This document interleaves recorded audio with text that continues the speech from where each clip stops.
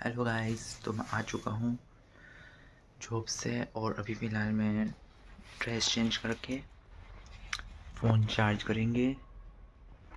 उसके बाद आज मेरे भाई का बर्थडे है तो मम्मी कुछ स्पेशल बना रही चलो देखते हैं।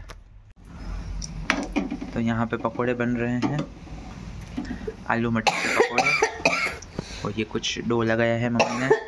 पराठों के लिए। ये मीठे वाले बुच्चे हैं। ये फिक्के बुच्चे का डो है। तो देखते हैं। मम्मी को बहुत खांसी हो रही है। हम्म, क्या? मम्मी बहुत हंस रही है। अरे सब लोग मम्मी को बोलो हेलो। तो आज क्यों बना रही है भुज्जा जन्मदिन है। किसका जन्मदिन है? तेरे भैया का। भैया का? हम्म। उनके फेवरेट भुज्जे बन रहे हैं। हमारे तो बर्थडे पे यही बनते हैं हमेशा। तो कुछ इस प्रकार की मेरी थाली हो गई है।